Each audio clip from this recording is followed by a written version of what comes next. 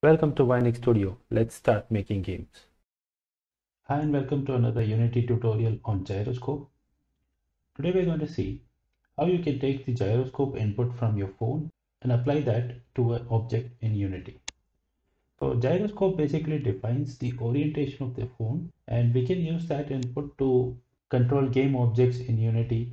For example, when you're making a racing game, you can use gyroscope to make the car move left or right. So let's have a plane and a cube in our scene. So we'll apply the gyroscope orientation to the plane and see how it moves.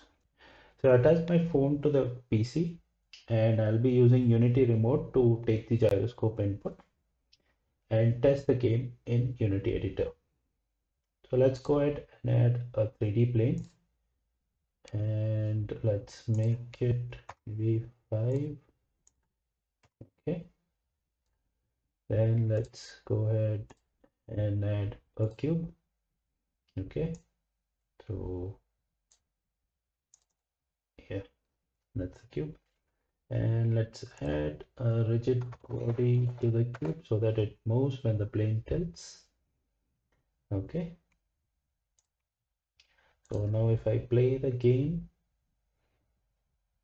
the cube falls on the ground and it stays. And since both are white we're not able to see it much clearly. So let's go ahead and create a new material. Okay now let's call it black. And let's change the albedo to black. Let's assign this color to the cube. Okay. So now it's good okay now let's change the camera to maybe this. Yeah that looks good. So let's select main camera and right click and set align with view. Okay so the game view is also same as my scene view. Okay so let's select the plane and let's add a new script to that and we'll call it gyro script. Okay and create an ad let's open it in Visual Studio for editing.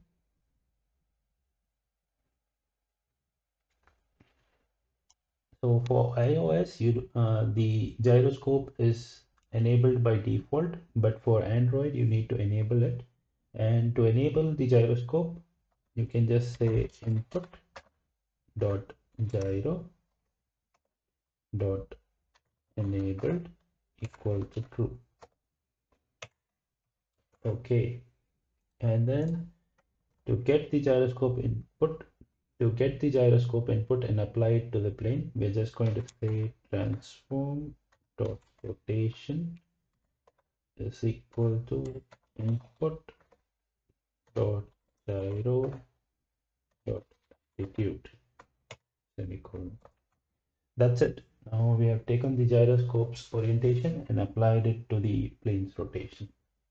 The debug log input attitude. So that way we'll be able to see what is happening. So as you can see here the plane is basically rotating based on my phone and there's not much control because okay there you go yeah. So I'm hardly able to keep the plane visible. So that's because the phone's orientation is directly applied onto the plane and and my phone is switching between landscape and portrait orientations. Okay. So now to make it much easier let's go to player settings. So build settings player settings and make sure okay resolution and presentation. And we set the default orientation to landscape left. Okay. So now it won't change between landscape and portrait i guess. Okay. So as you can see i'm able to control it but not to a great extent uh, one more reason why i'm not able to control it is Gyroscope is right-handed and Unity is left-handed. So you have to basically negate the motion. Now, but you cannot directly assign the negative sign to a rotation. So to solve that issue, what you can do is mainly you need to rotate only in the y-axis. So we'll do transform dot rotate. So rather than assigning the gyroscope directly to the rotation, say transform dot rotate, we'll define a new vector 3 and let's call it rot okay? Uh, let's set rot sorry let's set rot to vector 3 dot so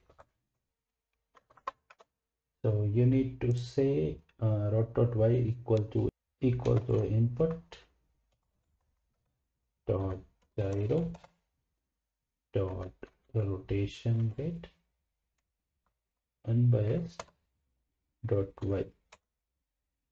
Okay and to solve the left hand right hand problem you can just negate it uh, since gyro is right-handed and unity is left-handed you have to add a minus sign.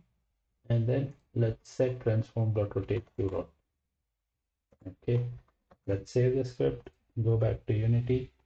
Let's play the game. Okay so based on my device moving along the y-axis the plane is rotating but we wanted to tilt the plane so we have to rotate the plane along the along the x-axis rather than the y-axis so let's change the code to that and let's just assign rotation dot x based on the device x-axis okay now let's go back to unity and let's test it out. There you go